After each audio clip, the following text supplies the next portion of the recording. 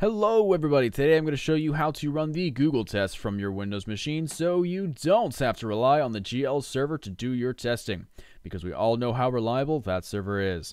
First things first, grab WinSCP from the description below and run it. Put in your GL server credentials here just like you would for PuTTY and log in. Next thing is going to open up to your user home directory. Just going to grab whatever project you're going for testing.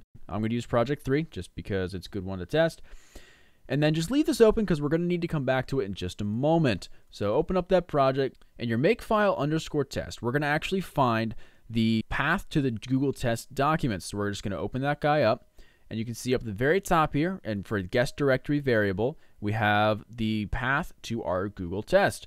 I'm going to grab everything but the actual Google test folder and copy it. Makes life a little bit easier. Right click back over in WinSCP, open directory bookmark, and just paste that guy in there so we can just quickly navigate to that directory. You can see we've got our Google Test 1.7.0 folder here. Just copy that to your desktop. All right, I'm going to close this guy out. Instead of leaving it on my desktop, what I want to do is I want to put it in a folder that's going to be much more easy to reference from the actual programs I'm writing. So I'm going to drop up just my base C directory here so I can not have to type a huge path just to get access. We're done with WinSCP, so go ahead and close that out. And then I've got my Google test in my C directory. We're going to have to modify a couple files before we're actually ready to start testing. So open up whatever project you're running, make file underscore test. We're going to have to modify that guy. So we're going to open him up with Sublime Text, make life easy. All the way up here, again, guest directory, what we were just looking at to find the path on the GL server.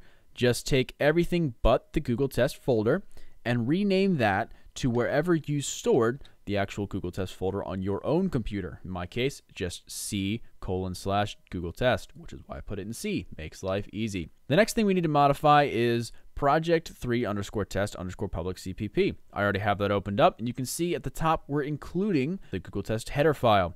Again, you can see we've got the entire long GL server path. We're going to delete that and substitute it with our own path. In my case, once again, C colon slash which is why I chose that one. Nice and easy, right?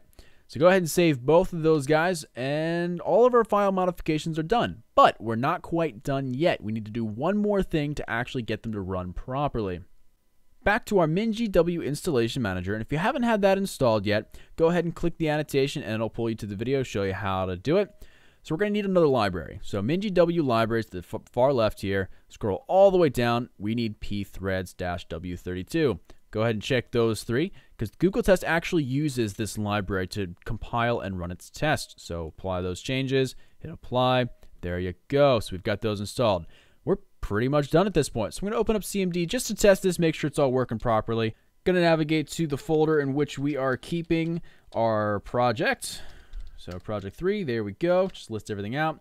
All right, so now we're going to make it and see what happens. So we're going to make all here, and you can see it's going through the motions. It's going through the actual compilation of the Google test now, and looks like it was completed successfully. So let's test it out. Project 3 underscore test underscore public. Bam. Looks like we've got it up and running, and, and the Google test is functioning beautifully.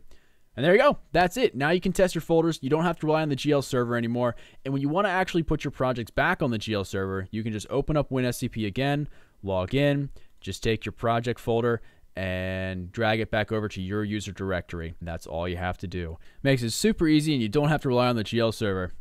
Happy coding, guys.